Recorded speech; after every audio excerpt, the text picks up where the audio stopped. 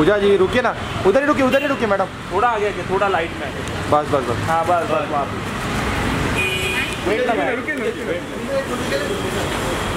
पूजा जी। पूजा जी wait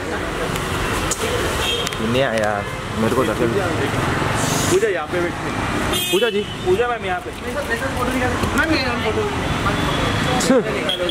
अरे कैसे निकालोगे?